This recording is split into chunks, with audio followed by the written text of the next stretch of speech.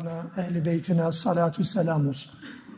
Allah'ın rahmeti, bereketi, mağfireti, selamı ve selameti hepimizin üzerine olsun. Rabbim bu kitabıyla, ayetleriyle birlikteliğimizi hayır ve bereket vesilesi kılsın inşallah. Musa'nın davetiyle alakalı Rabbimizin peygamber ve ashabına hitabı olduğu gibi evrensel anlamda bütün zamanlara ve bütün mekanlara yönelik olmak üzere bize de hitabı anlamında Allah Teala'nın bize öğrettiği hususları öğreniyoruz. Musa'nın davetinden, mücadelesinden, tebliğinden, onun nasıl bir yöntemle bu işi yaptığından, nelerle karşılaştığından ve nasıl bir sonuç elde ettiğinden Rabbimiz bize bahsediyor. Bütün zamanlar için ve bütün mekanlar için geçerli olmak üzere. Musa Aleyhisselam'ın kavli leyin ile, yumuşak söz ile Musa Aleyhisselam Firavun'a Harun'la birlikte gidişinden söz eden bölümden sonra 56. ayetle birlikte Firavun'la doğrudan bir çatışmasının fikir ve düşünce anlamında bir çatışmasının başlangıcı olan ayetler bunlar. Rabbimiz Musa Aleyhisselam'ın bu yumuşak sözlü davetine rağmen Firavun'dan ve çevresinden görmüş olduğu tepkiyi, o tepkinin dozajını bizlere anlatmış olacak bu okuyacağımız ayetlerle. Bismillahirrahmanirrahim. وَلَقَدْ أَرَيْنَاهُ آيَاتِنَا كُلَّهَا fekezzebe ve ebe. Firavun'a bütün ayetlerimizi, bütün delillerimizi, Musa Aleyhisselam'la birlikte gönderilen asa ve yedi beyza mucizesi olmak üzere hepsini gösterdik. Fakat ne yaptı Firavun? O bütün bunları yalanladı ve inkarda direndi.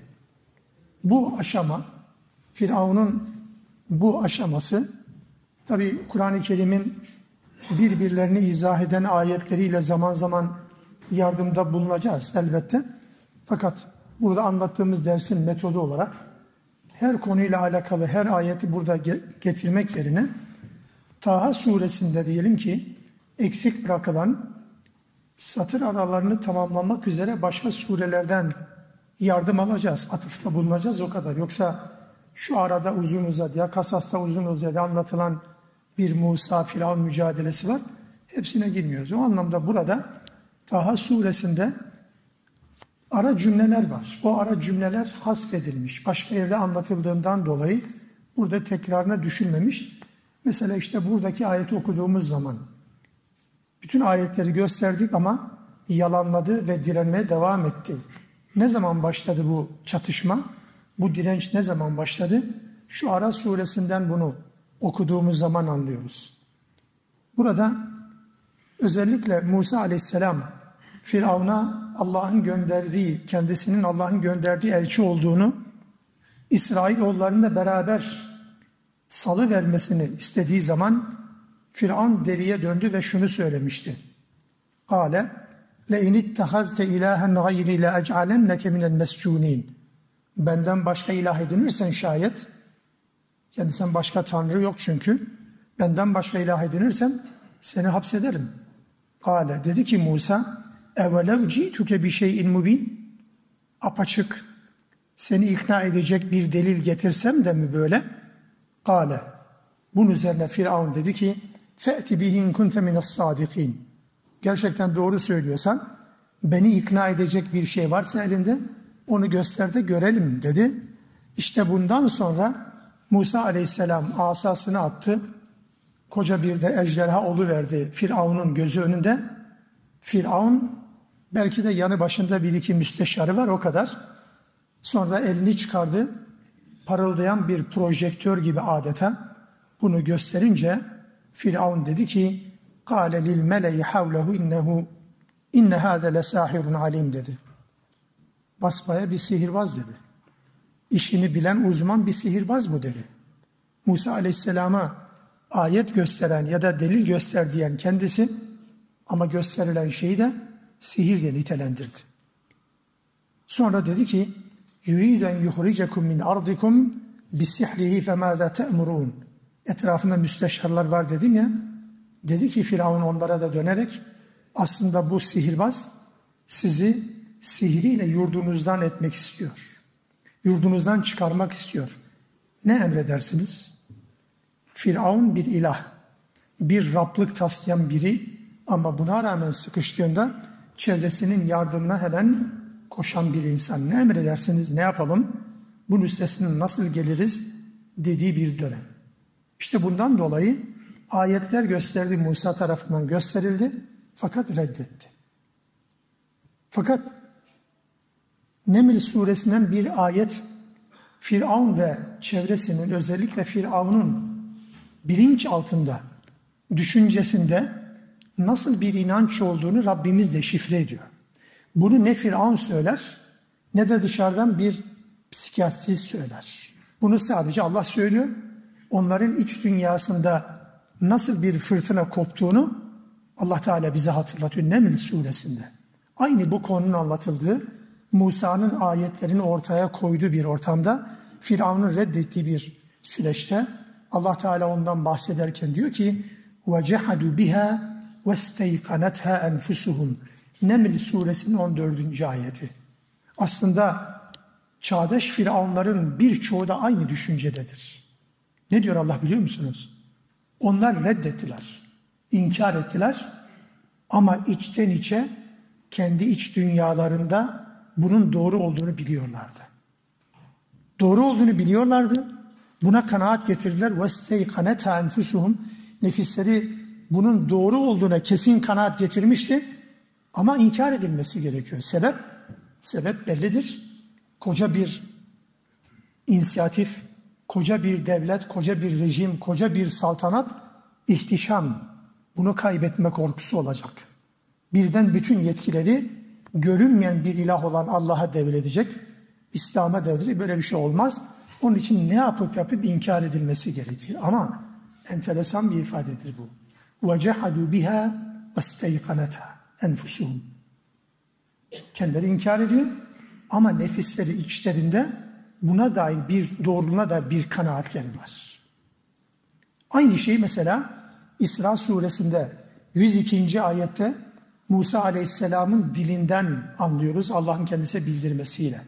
Firavun'a diyor ki bu mucize gösterildikten sonraki inkarından dolayı لَقَدْ عَلِمْتَ مَا أَنْزَلَ هَا اُولَٰئِ اِلَّا رَبُّ السَّمَاوَاتِ وَالْاَرْضِ بَصَائِرِ Sen de çok iyi biliyorsun ki ey Firavun, bunları göklerin ve yeri olan, yerin Rabbi olan Allah'ın dışında başka bir ilah bunu indirmiş olamaz. Sen de bunu çok iyi biliyorsun. Biliyorsun ama bilmezlikten geliyorsun.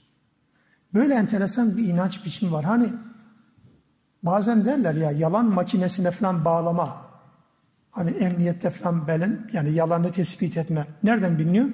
Nabızlarından bir şey söylendiği zaman nabızların atmasından vesaire belli bir takım kendisi diliyle söylemese bile, duyu organlarıyla bunu ortaya koymasa bile his olarak tespit edilebiliyor ya.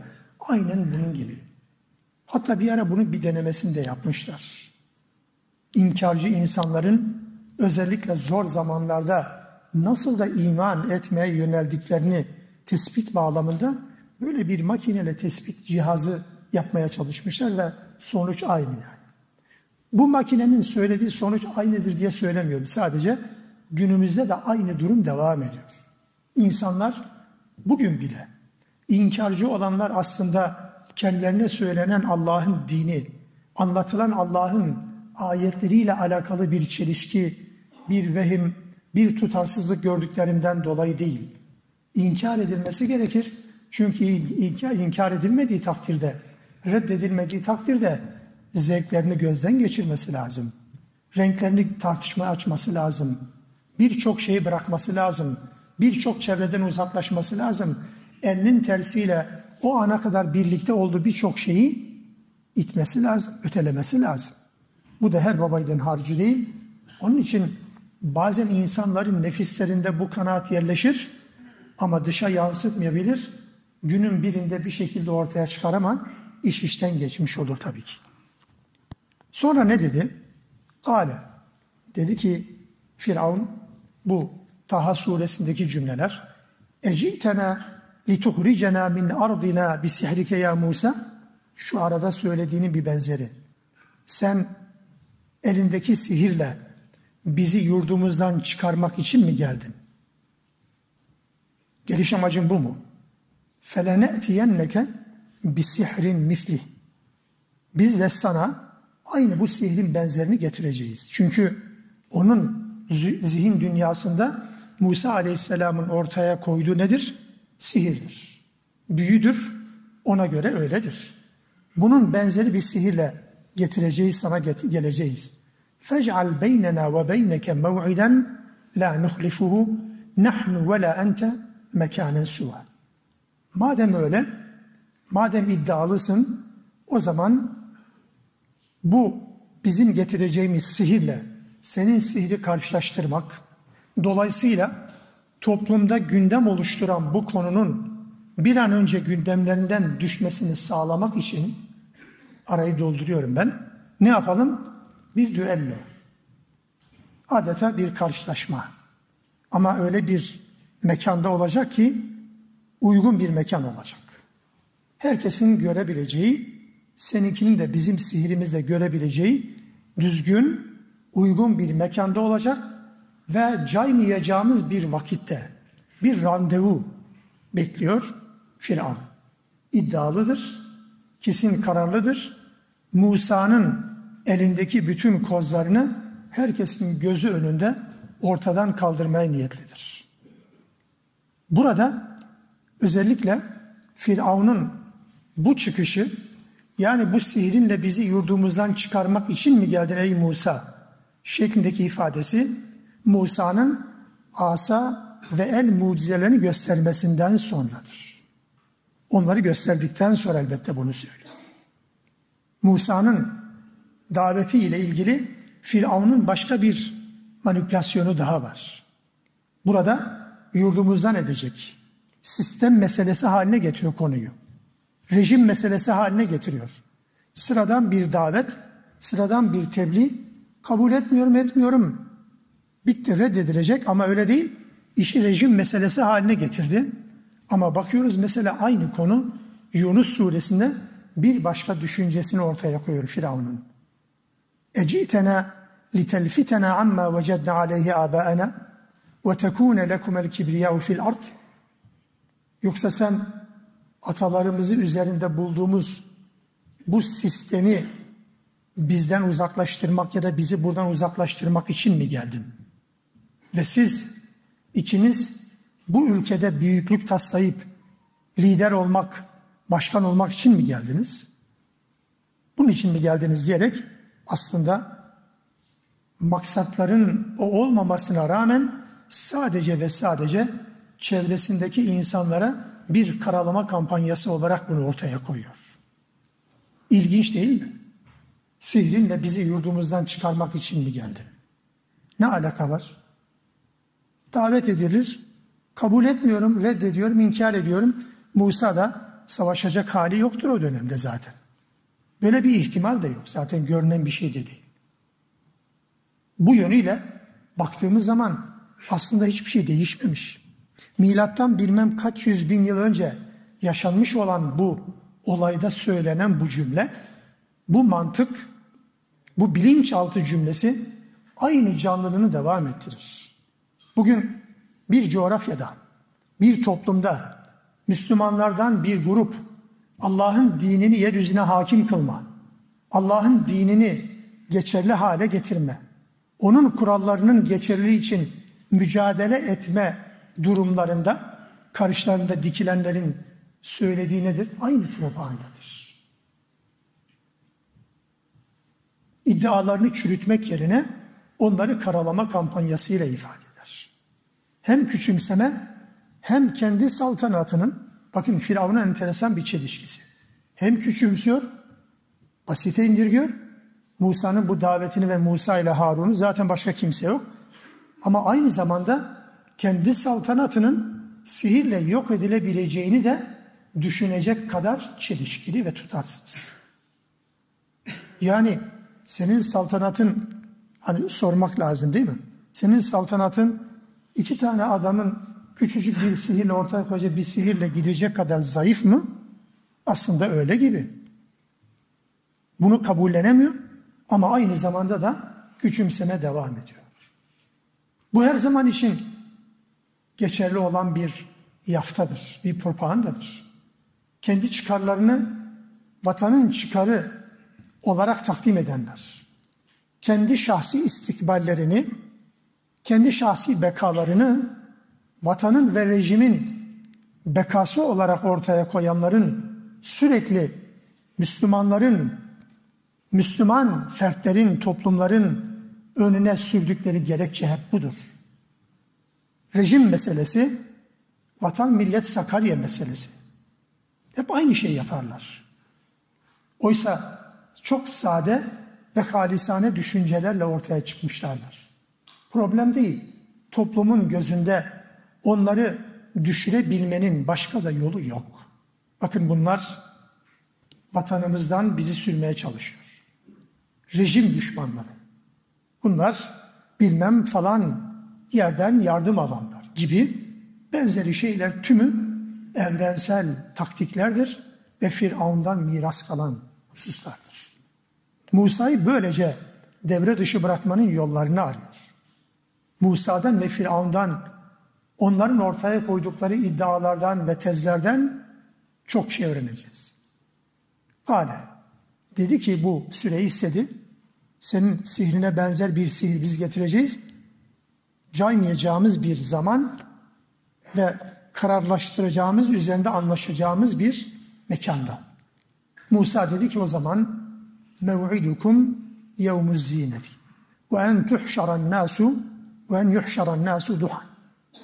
Buluşma vaktimiz bayram zamanı. Bayram günü. Zinet günü yani insanların süslendiği, neşelendiği, eğlence için çıktığı geleneksel hale gelen bayram törenleri. Hangi bayram? Ne bileyim işte bir kutlamadır. Kutlaman haddi hesabı yok. Firavun'da da varmış bunlar zaten. Bir geçit töreni. Bütün halkın belki gelmek zorunda olduğu ya da gelmek zorunda bırakıldığı, belki de halkın kendiliğinden geldiği, mecburen düşman olarak görülmemek adına, vaziyeti kurtarmak adına, adına bulunmak zorunda olduğu bir tören günü, bayram günü. Musa Aleyhisselam'ın söylediği zaman dilimi bu. Ve insanların bir araya toplandığı kuşluk vakti. Gece olmasın, gündüz vakti olsun, insanlar zinde, zihinleri açık, güneş ortada, herkes her şeyi ayan beyan görebileceği bir zaman dilimi, bir mekan. Zamanı böyle ayarladı çünkü bütün toplumun bir araya geldiği bayram günü bir randevu zamanı olarak niye belirlendi? Davetin herkese doğrudan ulaşmasını sağlamak içindir. İkinci, üçüncü azdan değil. Bizatihi toplumun hepsi gelecek ve Musa aleyhisselam davetini, iddiasını, davetini, davasını herkesin görebileceği, anlayacağı bir şekilde ortaya koyacak. Onun için böyle bir zamanı seçti. Mekan olarak da mekanen suva, suva kelimesi uygun bir mekan. Düz bir mekan. Hani mesela ben burada değil de aşağıda konuşacak olsam herkesin görme izleme imkanı olmayabilir. Kalabalığın biraz daha büyük olduğunu düşünün. Hani platformlar olur ya, konuşmaların yapıldığı platformlar biraz daha yüksekte. Niçin? Konuşmacıların mimikleri, hareketleri, konuşmaları görülsün diye. Aynen bunun gibi mekanın suva. Halkın gelmekte zorlanmayacağı bir mekan. Aynı zamanda bu kelimenin bu kelimenin ilginç bir manası daha var. Şehrin ortası. Yani şehrin doğusunda olsa batıdakiler zor gelir.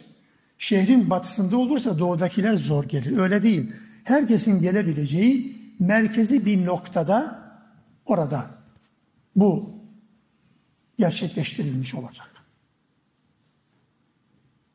Davetin enteresan aşamalarından, aşamalarından bir tanesidir. Hadis kaynaklarında Ashab-ı Hudud ile ilişkilendirilen, Buruç suresindeki Ashab-ı Hudud ile ilişkilendirilen ama rivayetlerde doğrudan öyle olmasa bile ona yakın ifadelerle anlatılan bir olay vardır.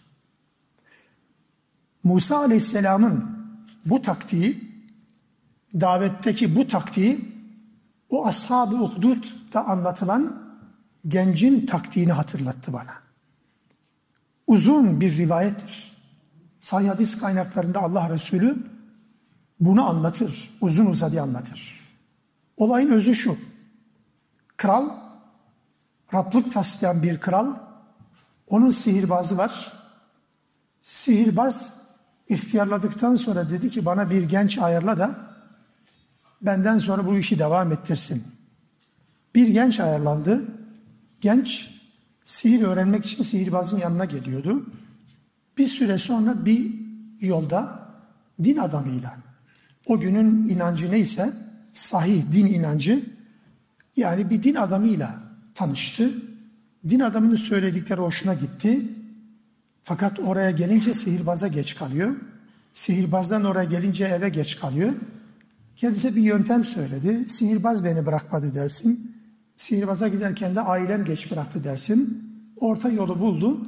Sihir öğrenme giderken bu genç aynı zamanda Allah'ın dininde o din adamından öğrenme devam etti. Sonra bir olay yaşandı. Bütün toplumu rencide eden, bütün toplumu sıkıntıya sokan bir yol kapanma olayı gerçekleşti. Kaya düştü, kimse kaldıramadı falan.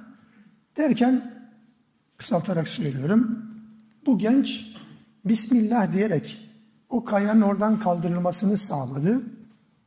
Ve gencin bu düşüncesi, Bismillah ifadesi ilk defa telaffuz edilen bir ifade ve bunu ilan edince, tabi arada kimi hastalıklar var, hastalık, tedavi imkanı olmayan hastalar geliyor bu gencin yanına. Allah'ın izniyle dua okuyor, rukiye yapıyor, şifa buluyorlar ve gencin toplumdaki popülaritesi artıyor. Herkes tanıyor. Tabi her gelen de diyor ki bu Allah'ın izniyledir, Allah'ın emriyledir. Sonra duyuluyor, deşifre oluyor. Bu nasıl böyle bir şey? Bana rağmen nasıl başka bir ilah olabilir ki? Gencin beraberinde bütün Müslümanları kılıçtan geçiriyorlar. Sonra sıra gence geliyor. Tabi gençle birlikte birkaç kişi idam edilince sıra gence geliyor. Genci biraz daha ibreti alem olacak bir şekilde öldürmeye niyetleniyor. Dağa götürüyor, olmuyor. Denizin ortasına denize atıyorlar, kıyıya çıkıyor, tekrar geliyor hayatta. Beceremiyorlar. Allah Resulü Aleyhisselatü Vesselam bu olayı anlatırken diyor ki, bu genç kralın karşısına dikildi dedi ki, beni öldürebileceğiniz bir tek yöntem var. Bu toplumun herkesi, bütün halkı çağıracaksınız, bir meydanda toplayacaksınız, meydanda topladıktan sonra benim ok torbamdan bir tane ok çıkaracaksın, yaya geldikten sonra diyeceksin ki yüksek sesle herkesin duyacağı şekilde diyeceksin ki bu gencin Rabbinin adıyla diyeceksin. Oku fırlatacaksın beni ancak öyle öldürebilirsin. Ahmak adam da bunu yaptı. Yaptı. İnsanları topladı. Güya insanları dinden vazgeçirecekti. Çıkardı. Bu gencin inandığı Rabbinin adıyla diye oku fırlattı ve genci öldürdü. Toplum da bunun üzerine hep iman ettiler. Hendekler kazıldı. İşte ashab-ı dediğimiz olay bu. Bu gencin burada amacı neydi? Aslında kurtulmuştu. Onu öldürme imkanı da bulamıyorlardı. Müslümanın böyle bir derdi var. Ben ölebilirim ama benimle birlikte, benim ölümümle birlikte belki binler, belki yüzler dirilebilir. Aslında kendisini Allah için feda edenlerin tamamının düşüncesi, hayat felsefesi de bunun üzerine oturmuyor mu? Ben öldürülebilirim ama benim öldürülmem birilerinin dirilmesine vesile olacaksa niye olmasın ki? Seyit Kutub'u niye unutmadınız? Hasan el-Benna'yı niye unutmadınız? İskilip'i niye unutmadınız? Daha geçmiş tarihe falan gitmiyorum yani. Yakın zaman diliminde, yakın tarihte ve bu coğrafyalarda hayatını İslam'a, İslam'ın güçlenmesine adayan nice yiğitlerin yaptığı aynı değil miydi? Öldürülebilirim ama toplum dirilsin. Musa Aleyhisselam'ın daveti özellikle ortaya koyacağı asa ve yedi beyza mucizesini ortaya koyacağı zemin, mekan ve ortamın özellikle böyle bir ortamda gerçekleşmesinin özel bir amacı var. Güveniyor, Allah onu yalnız bırakmayacak ama Firavun yanılacak ve kaybedecektir. Elbette bunu kararlaştırdı, Firavun da bunu kabul etti. Ne yaptı sonra? Fetevella Firavunu fecema'a keydehu sümme etâ. Firavun bu işe yöneldi. Yani bu hazırlıkları yapmak için gitti. Uzman sihirbazlar, başka ayetlerde bu ifade edilir. Memleketin dört bir tarafına haberler göndermek suretiyle uzman sihirbazların çağrılmasına karar verdi. فَجَمَعَ كَيْدَهُ ثُمَّ اَتَى Bütün sihirlerini, bütün hilelerini, bütün sihirbazlarını topladı ve sonra o buluştukları mekana, o buluştukları zamana, zamanda geldi. Geldiler. Herkes hazır. Kâle lehum Musa. Musa onlara bir nasihatte bulunuyor. Kime? Firavun'a ama Firavun'dan ziyade sanki daha çok oraya gelen o sihirbazlara. Karşılıklı düşman, rakip. Son hamlede herkes kendi hünerini göstermeden önce Musa Aleyhisselam'ın davetle alakalı bir çıkışı bu. Dedi ki La veylekum yazıklar olsun. La teftaru alallah kezibe. Allah'a yalan iftirada bulunmayın. Nasıl yani? Allah'a ortak koşarak, Allah'ın hakkını başkasına vererek, Allah gibi başkalarını değerlendirerek Allah'a iftira atmayın yazıklar olsun size. Yoksa ne olur? فَيُسْحِتَكُمْ بِعَذَابٍ وَقَدْ خَابَ مَنْ iftara. Yoksa o Allah bir azapla kökünüzü kurutur. Düello başlamadan önce bunu söylüyorum. Çünkü Allah'a ortak koşarak iftira atanlar kesinlikle kaybedenlerdir.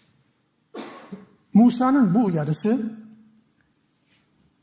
şu Ara suresinden bir ayetten hareketle anlıyoruz ki sihirbazların Firavun adına yemin etmeleri üzerine Musa'nın münkeri nehyetme amacıyla söylediği bir cümleye benziyor. Çünkü sihirlerini atarken herkes herkes daha doğrusu herkes bir iş yaparken birilerinin adına hareket edecek. Ya bunu diliyle ifade edecek ya tavırlarıyla ifade edecek. Kimin adına? Ne adına? Hani herkes bir şeyler adına yemin eder. Herkes bir şeyler adına and içer. Herkes bir şeyler adına varlığını armağan eder ya. Herkesin böyle bir yöntemi var. Firavun'un da sihirbazların da bu yöntemi var. Atarken iplerini ve çubuklarını atarken kalu bi izzeti firavun ediyorlar. Firavun'un izzetiyle, Firavun'un izzeti adına, Firavun'un şerefine inna le nahnul galibun. Biz kesinlikle galip geleceğiz. Bunu söyleyince anlaşılan o ki Musa aleyhisselam bu cümleye tahammül edemedi ve bu hatırlatmayı yaptı. Allah'a iftira atmayın. Allah'ın dışında izzet sahibi kimse yok. Başkasını Allah gibi değerlendirmeyin. Allah yoksa size azap eder. Ya da Musa Aleyhisselam'ın uyarısının nedeni niyetinin sadece bir gösteri, bir şov onlara göre yani olmadığını hatırlatmak. Onlar sihir için gelmiş olabilir. Ama ben sihir için gelmedim. Ben Allah'ın dinini davet etmek için geldim. Bunu hatırlatmak için son kez. Aslında bu sihirbazların kafasını karıştıran bir cümle biliyor musunuz? Çünkü sihirbazlar tabiri caizse dolmuşa bindirilmiş getirilmiş. Hatta ilerleyen ayetlerde okuyacağız. Bir tek Taha suresinin ayetinde geçer. Orada da diyecek ki sihirbazlar bizi istemediğiniz halde zorladığın sihri yapmaya zorladın ya Allah bizi bağışlasın diyecekler Müslüman olduktan sonra. Anlıyor ki zorla derdest edilmiş getirilmişler. Onun için bir izzeti firavune dediler. Musa aleyhisselam da durun dedi. Bak yanlış yapıyorsunuz. Derdim sihir değil. Derdim size bir takım şeyler göstermek değil. Derdim, derdim Allah'ı size tanıtmaktır dedi. Ya da sihirbazların zannettiği gibi meselenin bir sihir olmadığını bildirmekti. Sihirbazları kendi planları konusunda biraz da şüpheye düşürmekti. Oldu mu? Oldu gibi sanki. Sonra ne yaptı çünkü? 62. ayette diyor ki Allah Teala fetenaza'u amrahum beynehum ve esarrun necva. Firavun ama özellikle sihirbazlar yapacakları iş hakkında aralarında sessizce konuşarak ne yapacaklarını tartıştılar. Aslında hazırdı. Sihirlerini koymak için, ortaya koymak için hazır bekliyorlardı. Komut sadece gelecekti. Ama Musa aleyhisselam onların kimyasını bozdu. Bu cümleyi söyleyince onlar bocaladılar, afalladılar. Ve bir araya geldiler, konuşmaya çalıştılar. Gizli bir şekilde kulis faaliyetlerine başladılar. Acaba ne yapsak ne etsek diye. Sihirbazların belki Firavun'la pazarlığı da tam bu aşamada mı acaba? Kritik nokta. Yani düşünün mesela ölüm kalım mücadelesi ortaya koyacak. Senin adına birileri, Firavun için söylüyorum. Ve tam bu noktada vazgeçme durumuyla karşı karşıya yüz yüze. Sihirbazlar da tam denk getirmişler. Gelmişler sihirbazlar Firavun'a. Yine Araf suresinden bunu okuyoruz. Şu arada da benzer bölüm var. Dediler ki sihirbazlar Firavun'a İnne lena la ecran in kunna nahnul galibin. Biz galip gelirsek bize bir ödül var mı? Kale Firavun. Ne kadar çaresiz bir tanrı tasla. Naam evet evet dedi. Ve innekum leminel mukarrabin. Daha önce yüzlerine bakmadığı, adam yerine koymadığı, ikinci, üçüncü sınıf değil, hiçbir sınıfta yer vermediği bu insanlar ne diyor biliyor musunuz? Benim en yakınlarım olacaksınız. En yakınlarım olacaksınız. Sihirbazların bu pazarlığı yapması da Allahu Alem Musa Aleyhisselam'ın onların kimyasını bozan bu son hatırlatmasından sonra olacak. Görünen o en azından. Alu dediler ki sihirbazlar in hâzâni lesahirani konuştular. Müzakere ettiler.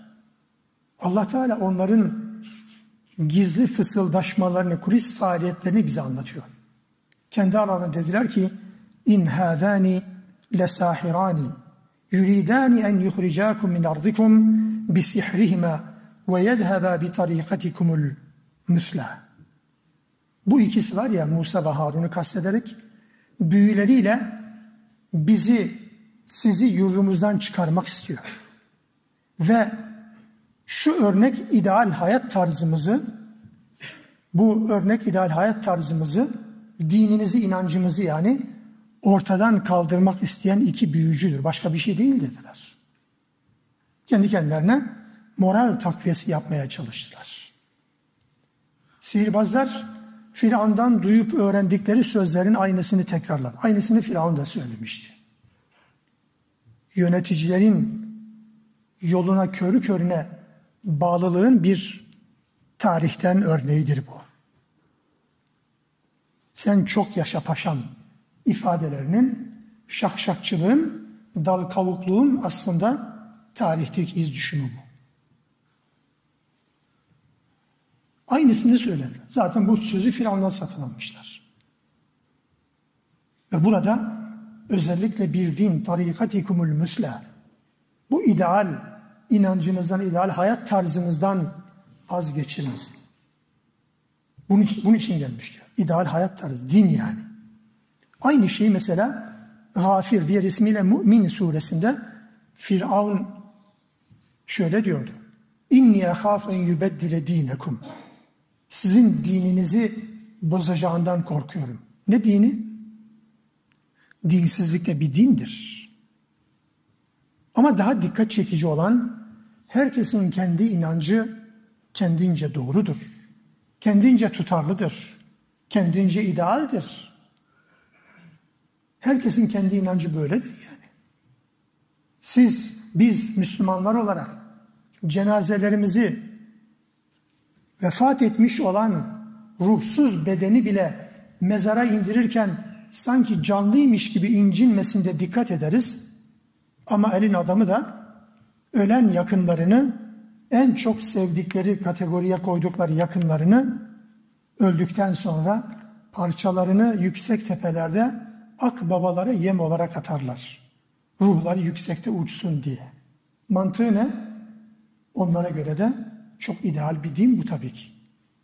Ya da babası öldü, eşi öldü, kardeşi öldü. Bunun cenazesinin ultra lüks bir yöntemle defini, tecizi, töreni nedir? İki ton odun alacaksın, yakacaksın, üzerine babanı koyacaksın.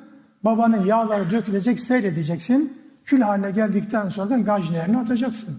Bu ise bir din. Kaç kişi bu dine tabi? Milyonlar, milyarlar.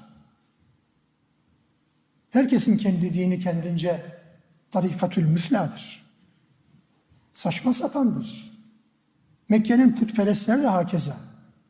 Yani Allahsız edemiyorlar ama bir karar verecekleri zaman taştan, tunçtan yonttukları o putların, heykellerin huzuruna gidip onların verecekleri karara göre hareket etmeyi de adamlık sayıyorlardı. Yüzyıllar sonra değişen bir şey yok.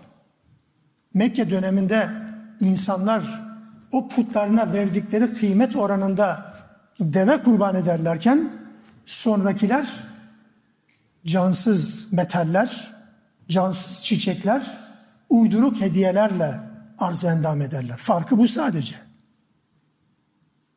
Söylemler aynıdır. Onlar da Muhammed Aleyhisselam'ın davetini işittikleri zaman o heykelleri şikayete giderlerdi. Ey Hübel, ey Lat, çarp bunları sana hakaret ediyorlar diye orada evet defterleri yoktu. Bir şey yazamıyorlar ama sözlü olarak bunu söyledikleri kaynaklarımızda var. Değişen bir şey yok. Dünle bugün arasında çağdaşlık mı modernlik mi? Vallahi ilkellikte bugün Mekke putperestleri çok daha geride bırakmış bir yapı var bu anlamda. Ama herkesin kendi inancı kendince tarikatül müsladır. İdealdir. İdeal bir dindir. Onun için herkes bu ideal din olarak gördüğü düşüncesinin kalmasını, silinmemesini, etkisiz hale getirilmemesini ister ve bunun içinde ne gerekiyorsa yapar. Firavun da aynısını yaptı ve insanları bu noktaya yönlendirdi. Ve dedi ki فَاَجْمِعُوا كَيْدَكُمْ ثُمَّ اَتُوا O halde bütün hünerlerinizi, planlarınızı yani sihirlerinizi ortaya koyun hadi koyalım ve ثُمَّ saffen tek bir güç olarak saf tutalım. Geçit töreninde görüntülü olacak. Dağınık bir şekilde olmayacak. Disiplinli olacak. Uygun adımlarla gidilecek mesela. Kime karşı? Musa ve Harun'a bir korku vermek. Tahayyül edin. Biraz hayal eder misiniz Allah aşkına? Şehrinizin en geniş meydanında böyle bir düello için toplanmışsınız. Siz sadece iki kişisiniz. Ve toplumun tamamı size düşman. Yöneticiler değil sadece. Sadece iki kişisiniz. Görüntüler, imajlar, alınan tedbirlerin tamamı sizi korkutmaya, sizin pes etmenize yönelik. Hepsi hazır. Saf olarak geleceksiniz. Ne yapardınız? Ne yapardık? E sonucu sonra söyleyecek. Her yeri geldikçe hatırlatmamız gerekecek. Bu iki kişi bu toplumu tarihten sildi. Yetmiyor mu? İki kişiye başlangıç noktasını okuyoruz. Top yok, tüfek yok, bir şey yok. Asa ise onlarda da asa var. İpse onlarda da ip var. İki kişi başladılar. Birkaç yıl sonra hiçbir kimsenin, Firavun'un da, dahil olmak üzere hiç kimsenin hayal edemediği bir sonuçla karşılaştılar. Firavun ve sistemi yok. Yok, ortada yok. Bütün Firavun ve saltanatı o horlandıkları, horladıkları, küçümsedikleri, silin dedikleri, yok edin dedikleri bu insanlara kaldı Allah Teala. O yeryüzünü onlara miras olarak bıraktık diyor. Başlarken böyle. Onun için yüz kişi bir araya geldik, bin kişi bir araya geldik, bu kadar kişi bir araya geldik ya yıllar sürdü mücadelemiz acaba ne olacak? Ne olacağı yok. Önemli olan doğru yapın. Yöntem doğru olsun. Sonuç önemli değil. Hasbel kader Musa'nınki böyle sonuçlandı. Ama tarihten daha önce yani peygamberler tarihinden daha önce okuduğumuz ayetlerde hatırlasanıza Nuh'un kaç ümmeti vardı? 60 yıla bir adam düşmüyordu. 60 yıl ömür süren içimizdeki dava kardeşlerimiz 60 yılda bir adam davaya kazandırdılar. Öyle düşünün. Kayıp mı? Kayıpsa Nuh fiyaskodur. Lut Aleyhisselam'ın mücadelesinin sonunda Zariyat suresinin 36. ayetinde ifade edildiği üzere toplum helak edildiği zaman Lut kavmi içinde Müslümanların olduğu bir tane evden başka ev yok. Başardı mı? Lut başarısız mı? Yöntem doğruysa sonucun istediğiniz gibi olmaması önemli değil. Tersini de söyleyeyim müsaade edin ama yönteminiz yanlışsa sonucunuz Nuh'u da Musa'yı da sollayabilir. Fiyaskodur. Yıllarca hatırlatıyordum. Bu kadar okulları olan insanlar, bu kadar bürokratı yetiştiren insanlar, bu kadar güçlü, bu kadar iktisatçısı olan güçlü bir yapı dediniz, dediler, dediler. Ya yöntem yanlış. Bu yanlış yöntemle doğru bir sonuç çıkmaz. Allah'ın lanetlediği bir sistemdir bu. İstediğiniz kadar gözünüzde büyütün. Kendinize bakın. Çalıştınız, çabaladınız. Üç kişiden başka kazanımınız yok. 60 yıl boyunca. Tebrik ederim. Kazançlısınız tabii ki. Nuh'un arkadaşısınız. Lut'un arkadaşısınız ya. Hatta hiç ümmeti olmayan peygamberler. Armut mu topladılar? Onun için biz hep sonuca odaklanıyoruz. Sonuç başarılıysa yaptığınız iş çok iyi. Sonuç başarısızsa kendimize göre yöntem değiştirelim. Yöntem değiştire değiştire de bir hal olduk. Bir türlü bir karar kalamadık. Sığınacak bir liman da bulamadık. Deneme yanılma. Allah'ın dini böyle değil kardeşler. Allah'ın dini böyle değil. Siz Allah'ı razı etmeye çalışacaksınız. Toplumu değil.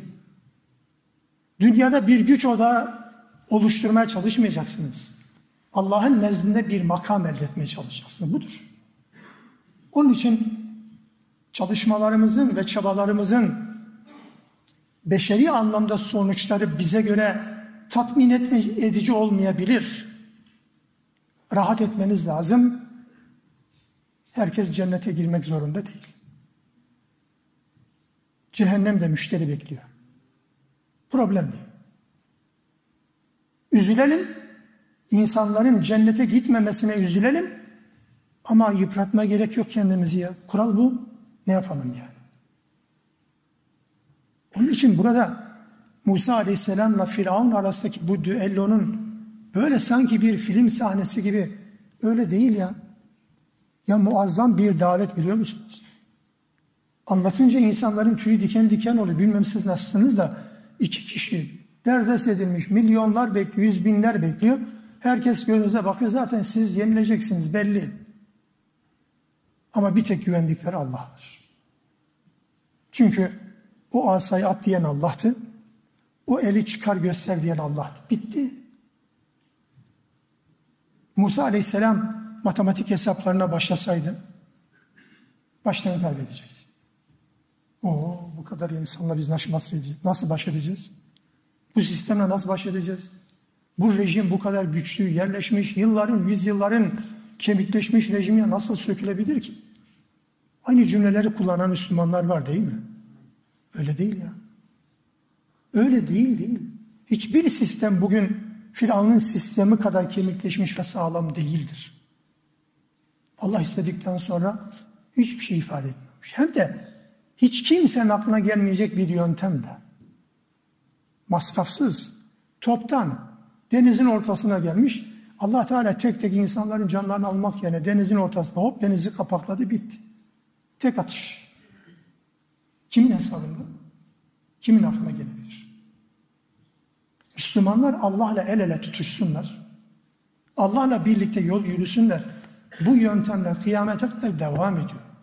Tıpkı bu ayetlerin nazil olduğu 14 asır öncesinin Müslümanlarına, Muhammed Aleyhisselam ve arkadaşlarına bir şeyler söylediği gibi evet 2021'de de bizlere bir şeyler söylüyor. Müslümanca iş yapın, gerisini Allah'a üstüne almış zaten. Saf halinde geleceksiniz. Sonra dedi ki aflehal yevme men istala. Bugün üstün gelen zafer kazanmış demektir. Kurtulmuş demektir. Saflar halinde gelecekler. Böyle gösteri önemli. İzleyicileri daha heybetli bir görüntü arz etmelerini sağlamak içindir. Göz korkutmanın bir başka şekli olarak bunu ifade ettiler. Sonra artık gösteri zamanı geldi. Herkes yerini aldı, tabiri caizse herkes tribünlerde yerini aldı. Sahanın ortasında bir platformun üzerinde sihirbazlar ve Musa ile Harun. Herkes bunu seyredecek acaba ne olacak diye. İşte 65. ayet ve sonrası bu tabloyu Rabbimiz bize hatırlatacak. Daveti öğrenmeye ve öğretmeye devam ediyoruz. Rabbim önümüzdeki hafta buluşturursa 65. ayetten itibaren inşallah devam edeceğiz. Subhaneke Allahümme bihamdik. Eşhedü en la ilahe illa ente estağfiruk ve etubu ileyk.